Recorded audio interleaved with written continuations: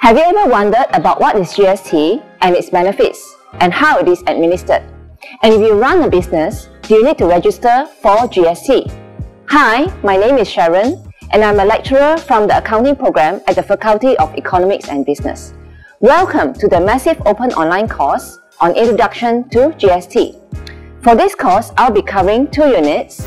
Unit 1, which is the overview of GST, and Unit 3, which is GST registration. Hello, let me introduce myself. My name is Michael Tinggi from University of Malaysia Sarawak.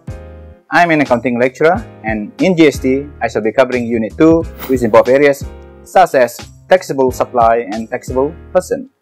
On a face value, the GST rate is 6% per annum.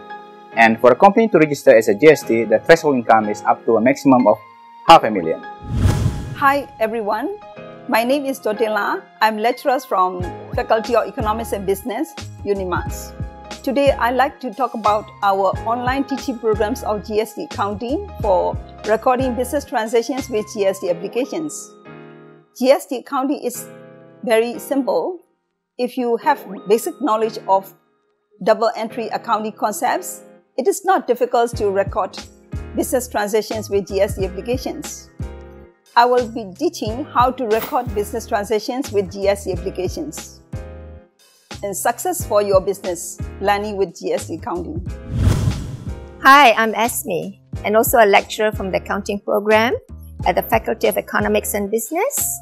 I will be with you for the last unit, that is the unit 6 of the Introduction to the Malaysian GST. We will get to know about the offences and penalties related to GST. Till then, take care.